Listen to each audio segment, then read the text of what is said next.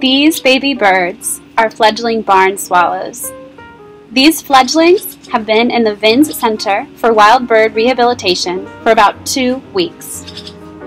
During these two weeks, they have sprouted a full body of feathers and learned to fly. These barn swallows will spend about two more weeks at the VINS Center for Wild Bird Rehabilitation.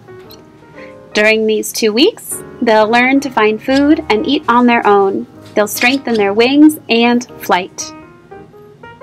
Although they look very grown up, the little swallows still need a parent to feed and care for them. We do our best to provide a well balanced diet for these insectivores. We feed them a high protein mix of mealworms, egg, and soaked kitten food. The fledglings are hand fed hourly by VINS expert rehabilitators.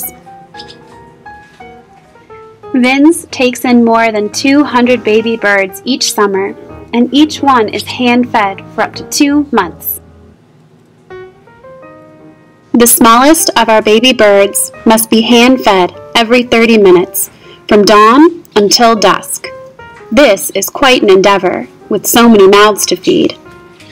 The majority of these baby birds will grow up and return to the wild. This is an immense reward for everyone.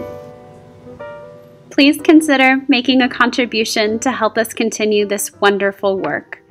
To donate, visit vinsweb.org slash donate.